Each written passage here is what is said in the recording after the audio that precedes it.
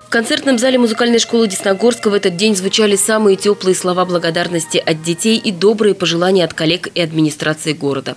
Педагогов пришли поздравить председатель Комитета по культуре, спорту и молодежной политике Светлана Головачева и заместитель главы города Антон Шестериков. Накануне мы поздравляли педагогов основного образования. Сегодня мы поздравляем педагогов дополнительного образования. Несмотря на то, что это слово звучит немножко казенно, э, дополнительное образование, тот вклад, который они вносят и в культурную жизнь нашего города, и самое главное, в жизни и в творчество своих воспитанников, своих учеников, его невозможно недооценить. Они не только э, закладывают в них нравственные моральные ценности, но и воспитывают тягу к прекрасному.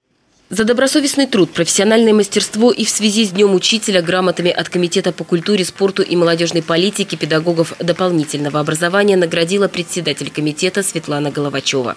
Молодым специалистам, бывшим ученицам художественной школы вручила грамоты заместитель директора по учебно-методической работе Елена Шулакова.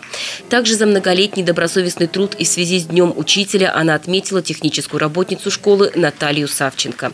В этот день для педагогов силами учащихся музыкальной школы была подготовлена праздничная концертная программа, в которой приняли участие воспитанники фортепианного, баянного, вокального, хореографического и струнного отделений.